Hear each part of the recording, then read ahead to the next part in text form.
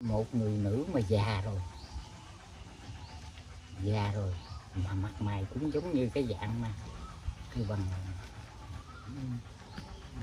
buôn bán mà hỗ trợ dữ dằn lắm. Dạ. Người, người đàn bà mà thấy cái mặt không dữ lắm tự nhiên xuống đó à, hay là có bà già mà mà cái cô gái này gặp cô gái cổ nói với, với lại cái cái bà già của cổ đó là có một cái bà già dẫn cổ rủ cổ ra đứng đứng chơi. Dạ. Một cái với lại tại chỗ đó mà xảy ra bao nhiêu cái sự việc mà chết chóc tại đây. Dạ. Trả một cái cách ờ, phải nói là mình không biết trước được nhưng mà nó rất tốt. Chẳng hạn như ờ, một cái câu chuyện trong kinh là cái cái cô đó, đó cô làm phước mà, mà chỉ có cái ờ, cũng chỉ cái, cái, cái tay thôi. Cũng chỉ cái tay thôi. Dạ. Cái khi mà đức phật độc giác mà đi khất thực á Dạ. rồi à, muốn xin ít mật ong để à, về làm thuốc á. Dạ. Kiểu về làm thuốc á. Dạ. Mà không biết đường. Dạ. Thì cô chỉ nè à, bạch ngày à, ở cái hướng đó đó, đó ngày đi tới đó rồi ngày ngày vậy do đó phước mà chỉ thôi đó dạ. Mà sau bà sanh lên sanh lên làm người đó bà có một cái bàn tay. Cái bàn tay rất là đẹp. Dạ. Bàn tay rất đẹp người ta nhìn thấy hai cái bàn tay. Mà bả lại là sau đó là cái làm cái vợ của cái ông vua ở dạ. Mà cổ đó là, là chỉ là một cô gái à, tầm thường bán à, hàng vậy thôi. Dạ. Mà nhờ cái phước đó phước gặp mà đức đạt đức phật rồi chỉ cho đức phật à, à, cái hướng đi xin mật ong. Dạ. Rồi khi mà đức phật à, cổ còn nói khi nào mà à, ngày mà có mật ong rồi ngày ngày chịu khó ngày đi ngang đây con con dâng cho ngài cái tấm vải để lượt mật ong. Dạ. Và sau đó đó thì cái miếng vải nó trả theo cái miếng vải dạ. Cái chỉ nó trả theo cái bạ cái cái quả nó trả theo cái chỉ dạ. Chỉ làm phước cái gì đó mà có được một cái bàn tay rất đẹp dạ. Còn ngược lại cái tấm vải đó đó sư kể chú nghe chú nghe vui. Dạ. Cái bả làm bà phi bà phi ờ, cho một ông à, ông vua không biết ông này nào ông ông bắt tiên hạt cái ông nào sư quên rồi không, không nhớ kỹ. Nhưng mà cái ông vua này nè hôm đó ông làm phước ông tây tăng à, ông vô chứ ông ông vô gặp cái cái bà phi này cái đang ăn trái cây. Này coi như bà đang ăn trái cây cách ngon lành vậy đó. Dạ. Ừ. thấy ổng cũng ờ, nói chuyện bình thường nó ờ, hậu ờ, khanh hậu à, khanh hay hậu gì đó khanh à, khanh ăn cái cái trái cây này là nhờ cái phước của trẫm. Dạ. Này cái phước của trẫm này mới có cái trái cây ngon này anh nói không phải. Cái bà thi này bà nói là không, không phải. Cái, phước này không phải không phải của nhà vua đâu. Cái phước này là của thiếp. Ông vua ông bực mình. Ông vua ông bực mình. Thì ông nghĩ là ông là vua. Thì tất cả những cái gì mà cung phụng cho ờ, trong đó là, do cái phước của ổng mà bà này bà không chịu. Bà nói cái phước của bà. Ừ. rồi ông vô nè ông tự gái. Ông nói nếu mà không phải cái phước của trẫm ha mà cái phước mà của phi làm đó ha, thì bây giờ á ngày mai ngày mai đó là trẫm dân trai tăng đến ờ, năm năm trăm vị tài sư. Coi như là sư thỉnh 500 vị khanh á. Ờ, hậu cái hà hậu hậu phải ờ, phải có 500 bộ y để dâng cho chư tăng. Nếu không có là bị chém đầu. Bà sợ quá trời. Ông nào không có nói giỡn. Quân bất khí ngôn mà không có chuyện giỡn không dạ. nói vậy bảo rồ quá rồi không chết rồi. Lỡ nói nghe vậy mà à, bây giờ làm sao đây? Làm sao mà kiếm được mà, mà 500 bộ ấy mà, mà, mà ra phước dạ cái cuối cùng cái đêm đó cái bà trằn trọc bà, bà ngủ không được ngủ không được. Xong cái khi mà bà chợp mắt cái bà thấy bà thấy uh, chư thiên á thiên nữ đó Dạ. cái báo nói hoàng hậu cứ ờ, tự nhiên an nghỉ đi. Thì cái phước báo mà mà hoàng hậu đã làm ở trong quá khứ đó là bố thí một cái miếng vải miếng cái vải để mà đức phật động giác ờ, lật à, lọc mà mật ong đó thì ngày mai nó sẽ trổ quả Dạ. khi đó đó à, là hoàng hậu cứ việc như là có một cái hộp đó cứ việc à, kéo ra rồi dương dương cho cho chị ra rồi bà yên tâm rồi mới yên tâm rồi mới ngu thì cái ông vua này đó ông thỉnh xong lễ lọc rồi này nọ xong cái tới cái phần dương y đó. Nó yêu cầu mà hứa dân y rồi thì dân y chỉ, chỉ tăng thì các ờ, các vị mới, mới lần lượt đi qua đó Dạ. thì bà chỉ có cái hộp thôi. Ở cái hộp là có một một người nữ một người nữ đem cái hộp ra. Đem cái hộp ra đưa bà. Nên đây trong này là y trong này bà thấy có cái hộp nhỏ thôi không có gì. Vừa cái bộ y thôi mà nói thì bà, bà mới kéo bộ y ra bà dưng cho gì này. Gì tới bà lại kéo mà trong đó nó cứ ra hoài trăm bộ y Dạ, đủ 500 luôn hả à, đủ 500 bộ y Dạ. thì từ đó đó cái ông vua đó ông mới nghĩ là trời cái bà này có phước thiệt. Bà Dạ. có phước thiệt. Đó, ông lại coi như là thương cái yêu còn nhiều hơn là lúc mà không có tu kiểu nó vậy đó. Dạ. Mình thôi cha mình nãy mình làm cái việc gì mà nó nằm ở trong cái phước thì cái cái phước nó trả điều mình không biết vậy thôi Dạ, nó tự tới hả sư? Ờ, cũng như ngay bây giờ đi Dạ. mình mà không bị ờ, bệnh tật ốm đau hay là ờ, sức tay gãy gọng gì đó cũng là cái phước ở trong cái phước Dạ. cái phước đó. Dạ. với lại cái chú hồi giờ chắc chú, chú cũng nghe thường người ta tụng kinh ở bên ờ, bắc tông hay là tụng những bài chú này nọ vậy đó Dạ. chứ ít mà có nghe mà kinh ở bên cái hệ phái nam tông Dạ con cũng ờ, có nghe, có nghe nhưng mà ờ, mấy vị sư đọc tiếng Bali con con không hiểu. thì Dạ. có ờ, nghiên cứu có coi có trải qua hay Dạ. ít nhiều thì nó cũng hiểu được chút chút Dạ. hiểu được chút chút nha chứ ờ, trong cái ờ, cái tiếng kinh Pali sư công nhận có một điều là nó nó có một cái quay lực rất là lạ Dạ, cái quay lực lạ hả sư? cái quay lực lạ lắm Dạ. và sư cũng có tụng kinh ờ, sư cũng có việc này việc kia trong cuộc sống của mình đó Dạ. rồi sư biết rõ Dạ. chắc chắn nó như vậy cho nên đó, nếu mà chú có nghe đó tự nhiên cái cái đức tin của mình nó, nó lớn mạnh lên Dạ. ở trong cái cái lĩnh vực mà mình thờ cúng tam bảo á. Dạ. để có cái câu chuyện sư kể cái câu chuyện này là nó ở trên ờ, Long Thành lúc mà sư ở trên ờ, đường Phước Sơn á Dạ. thì sư có cái ông ờ, ông anh này nè cái hồi ngoài đời đó ổng là giám đốc giám đốc của một cái đoàn chiếu bóng Dạ.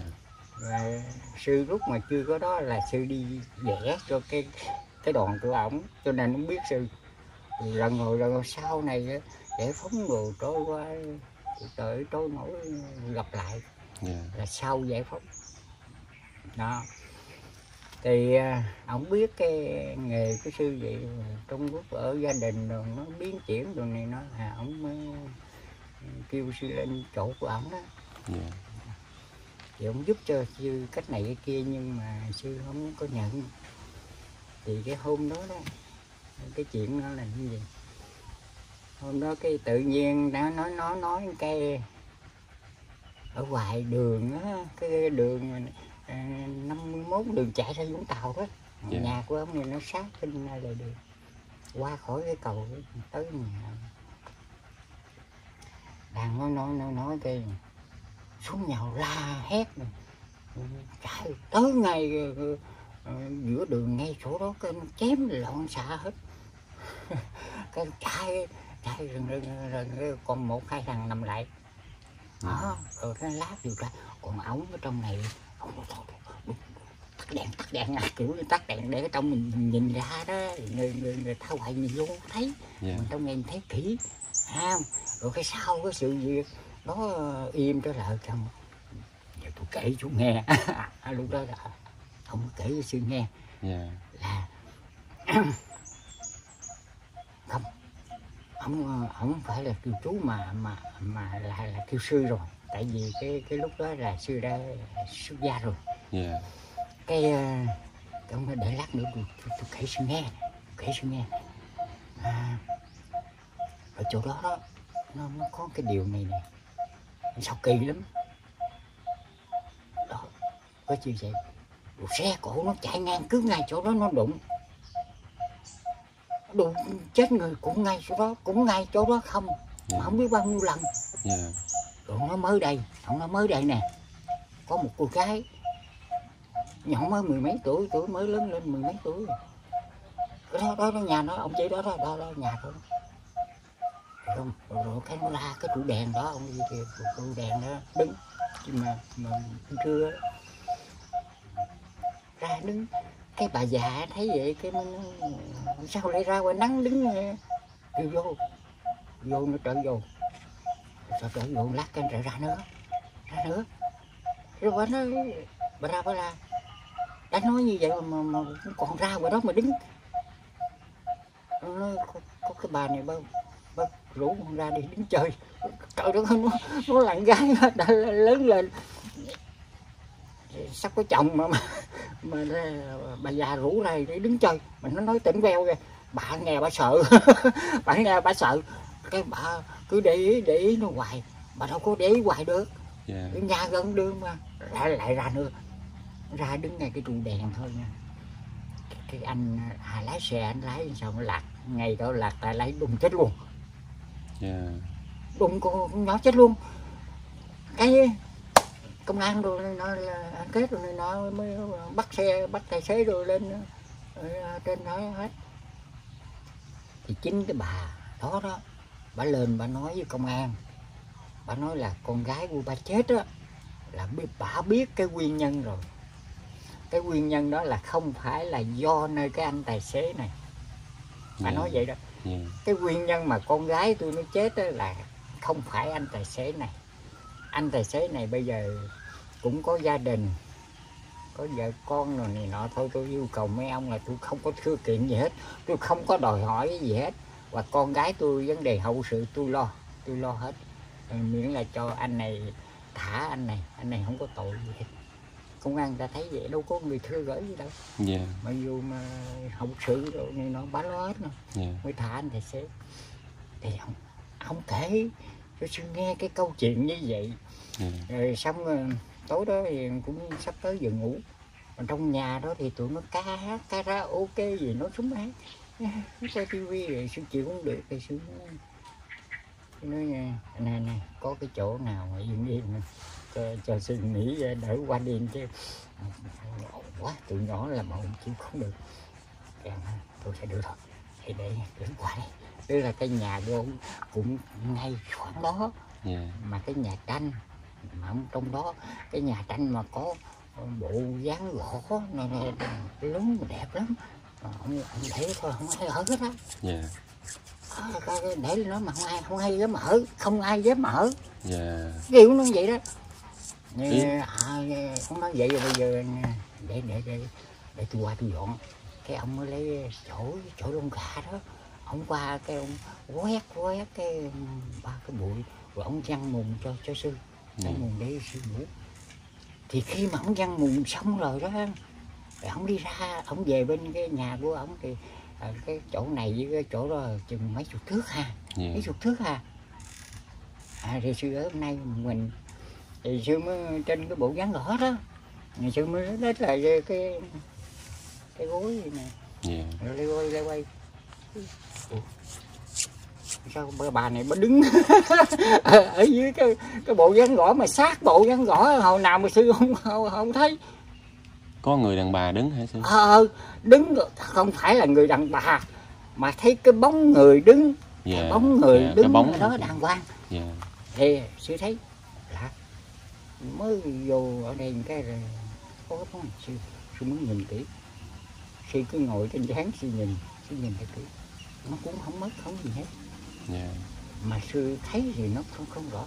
Cái sư nó, nó chú tâm vào cái cái, cái gương mặt để coi để coi ờ, giữ hiền như thế nào nữa. Dạ. Cái cái sư thấy rõ ràng là cái cái một người nữ mà già rồi. Già rồi mà mặt mày cũng giống như cái dạng mà kêu bằng ừm, buôn bán mà ôi trời dữ dằn lắm. Dạ. Người, người đàn bà mà thấy cái mặt hung dữ lắm tự nhiên xuống đó à, hay là có bà già mà mà cái cô gái này gặp cô gái của nói với, lại cái cái bà già của cổ đó là có một cái bà già dẫn cổ rủ cổ ra đứng đứng chơi. Dạ. Một cái. Với lại tại chỗ đó mà xảy ra bao nhiêu cái sự việc mà chết chóc tại đây? Dạ. Sư lúc đó suy nghĩ hay là cái bà này? Suy nghĩ hay là cái bà này? Dạ. À, nói tới đây à, vậy là đúng rồi cái chỗ này cái bà ở đây cho nên đâu có ai dám sợ nghĩa là ở trong nhà cũng không dám ngủ. Dạ. Tự nhiên nay mình tới mình ngủ mình ngủ chỗ của bà rồi. Dạ à. Sư biết rồi biết rõ bà rồi. Cái sư cũng dòm bác cũng dòm sư. Nói tôi sư ờ, tu chùa gần đây nè. Nay đi ra thăm cái ông anh này thì nói mình sư đâu chứ ai đâu có bả thôi. Hai dạ. Ra đây ngủ nhờ đêm. Để cho sư ngủ nhờ đêm đi đi nói bà cũng đứng quyền. Dạ. Bà cũng đứng quyền. Cứ đứng nhìn ha đúng gì hết mà thấy gương mặt bà dữ thiệt. Rồi tôi nói sư nói rồi. Sư ngủ nhờ đêm. Đi đi để cho sư ngủ. Cũng đứng quyền luôn. Không không đi. Cái khi đó đó thì nó được rồi thì không đi ha. Cái sư nhiếp tâm sư niệm phật lúc đó sư mới nhiếp tâm mà cái câu mà nam mô tassa câu do arato sammasambuddhasa đó là hầu hết ở bên nam tông. Phật tử nào mà đi chùa thường nó nhỏ nó cũng thuộc nữa. Dạ Hầu- hết. Phải chư tăng mà khởi lên từ hồi xa xưa tới giờ khởi lên tụng một cái việc gì đó gì gì bất cứ gì thì cũng phải khởi đầu bằng cái câu nam mô tassa tới rồi mình đảnh lễ đức phật trước đó dạ cái câu đó đó. Dạ mà cái chữ sư mới vừa đọc tới cái chữ mà nam mô thôi mới có chữ nam mô thôi mất dạ. Và sư đọc hết câu đó rồi là sư nghĩ tới sáng. Nhưng mà khi sư đi thì sư thấy cái chuyện nó bình thường có gì để nói. Dạ. Nha sư đi một năm sau á mới sư mới trở lại thăm ổng dạ. Nha rồi cái sư mới nhớ lại là ở cái sự việc cái hôm đó nó như vậy như vậy. Cái sư mới hỏi thử không hỏi thử ông. "Cái này cái ờ, ở đây hồi giờ từ hôm mà, mà sư đi tới nay là có tai nạn gì không? Cái ông hỏi sư ồ thì ờ, từ hôm sư lên là sư nói chuyện nói chuyện rồi sư đi dụ nó chém chém này, này nó đó ha rồi cho tới bên nay không có không có tai Dạ. nạn. Hết luôn hả sư? Hết luôn. Dạ. Nghĩa là một năm sư mới lên. Dạ rồi lúc đó đó sư mới kể cho nghe cái cái vụ mà sư thấy ngoài đó. Dạ. Rồi cái cái câu niệm phật sư nói cho ông nghe vậy. Dạ. Không có cái đức tình đức tình nó mới phát sanh lên tâm ông. Ông tin. Chứ ổng là hoàn toàn không tin tưởng cái gì hết. Dạ. Nhưng ngồi xích vô nắng. Dạ dạ dạ. Ông không không tin đi ông chỉ tin vào cái tài năng của ông thôi. Nhưng mà Dạ. thật sự ông rất có tài. Dạ. Gần như là hoạt động rất là năng nổ dạ. Không tin tưởng. Nhưng mà qua cái câu chuyện nó nói nó nói vậy cái con ông tin ông tin. Bây giờ ông cũng mất rồi nó ngay ông lúc đó ông cũng thương sư nhiều hơn đó không vậy? Dạ.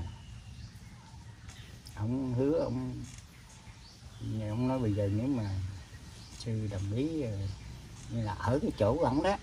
Dạ.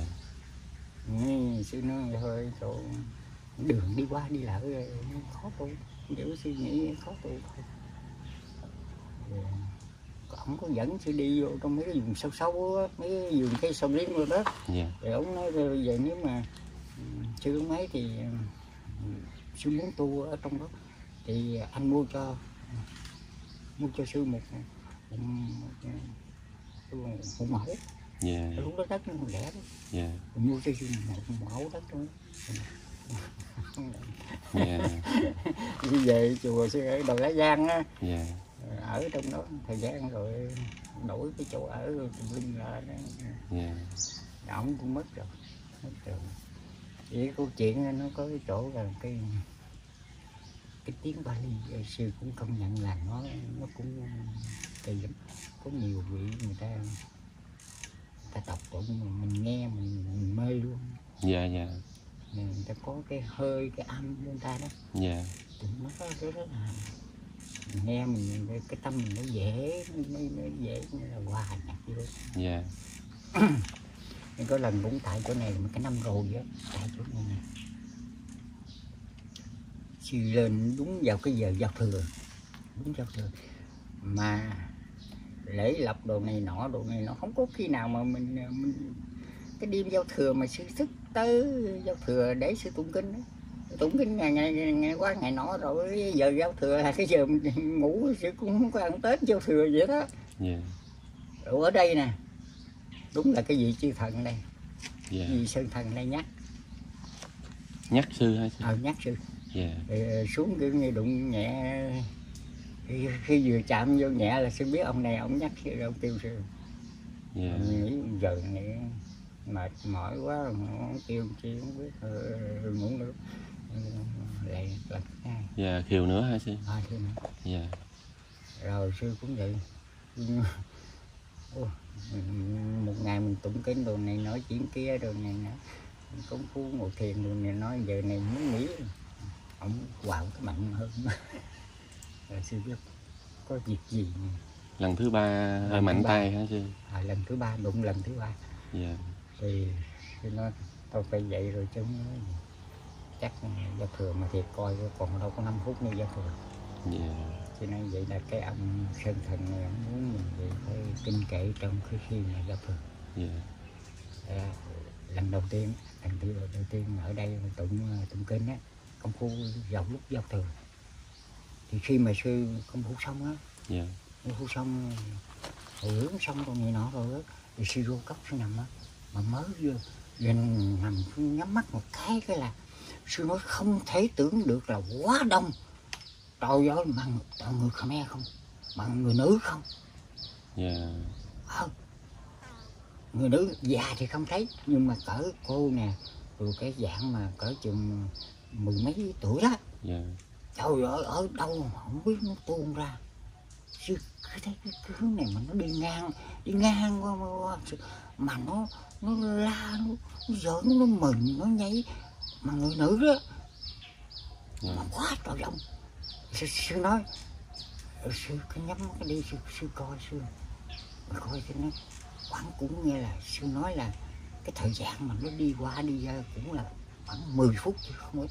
Dạ thường thường mình thấy đâu có đâu có mà kéo dài như vậy. Dạ. Mà lần này giống như là mình mình coi coi phim khoảng 10 phút.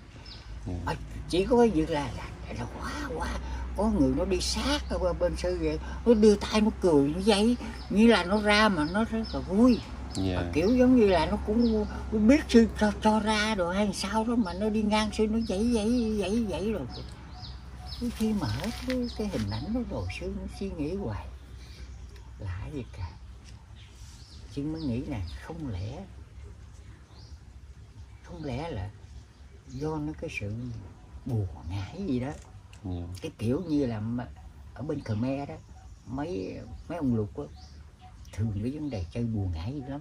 Dạ cái hệ phái này nè nó chơi buồn ngãi lắm. Rồi cái năng lực của buồn ngãi đó mấy ông cái kiểu giống như cô lập những cái cái dạng mấy cái cô này hay sao á. Dạ mà nó bị gò lại. Gò khó là ra không được. Dạ. Kiểu như nó bị gò bó lại nó nó, nó bị nhốt lại. Kiểu mình nói vậy đi. Dạ. Nó bị nhốt lại. Nó ra không được. Mà mà cái cái, đêm vô trình đó thì vô trình sư ờ, có cái sự việc của cái ông sơn thần ở đây ông ông đốc. Đốc mình phải phải tung kinh vào cái thời điểm đó. Dạ. Mà chỉ có một mình sư tụng thôi chứ còn hầu hết chùa đâu có ai mà tụng vào cái, cái thời điểm đó dạ. Thì à, sư cứ ờ, à, tụng nhỏ nhỏ râm râm vậy à, rồi xong rồi sư hồi hướng rồi, rồi xuống ngủ. Thấy vậy rồi sư- sao sư suy nghĩ là như vậy đó có thể là do nơi cái vấn đề từ đó tới giờ mà các lục mà cái quần bị nhốt kiểu như giống như bị cái nhốt trường hả? hợp ở bị nhốt đó dạ. Giống như trường hợp như thiên mình cái đi. Dạ. Nó nó nó chơi cái trường hợp đó là nó nhốt để mà nó nó hành riêng cái việc của nó đó Dạ. sai cái riêng cái việc đó. Dạ. Thì cái vấn đề những cái người nữ này nó bị nhốt làm sao nó, nó ra không được. Dạ. Mà vô tình xưa á, sư gỡ bằng cái cách gì vì á cái kinh Bali á, mình mình tụng có đầu có đuôi thứ lớp có có nghĩa là A B C rồi này nè. Thứ lớp còn mấy ông mà mà tụng như là tráo qua tráo lại tráo tới tráo lui rồi cái đó nó, nó lùng tùng nó, gài tùm lum. Dạ. Cũng như, như, cái mật mã vậy đó. Dạ. Vô cái mật mã như vậy rồi cái mình không có không biết cái cái mật mã đó. Dạ không biết đường mở. Ờ không biết đường mở rồi cứ ở ở trong đó trong đó.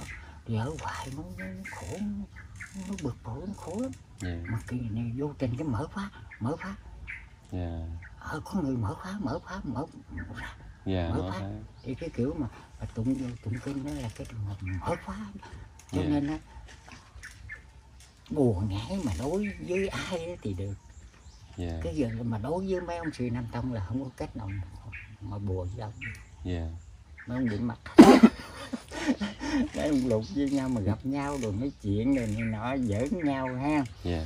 Ví dụ như trong khi lễ mà mấy ông lục rồi cũng có ở chung chùa vậy đó. Dạ dạ. Cái vô cái là lấy cái cái hũ mà như cái dầu vậy đó. Dạ. Cái lấy thay vì thoa mũi à, rồi cái à, chấm chấm vô môi vậy nè. Dạ. À, chà cái bùa ha. Không có gì kiểu như chơi cái bùa đó để ra rồi có phật tử à, đứng đó nói chuyện thôi cái người ta thấy thương. Dạ. yeah. nó là cái cái bùa thương nó vậy đó. Dạ dạ. Ồ người ta thấy ông sư này thấy thấy thương rồi người ta động lòng cái người ta cho tiền. Dạ. Đó. Vậy đó mà mấy ông phải uh, thỉnh thoảng phải về thầy phải về thầy. Dạ. Về thầy riêng của mấy ông đó. Dạ.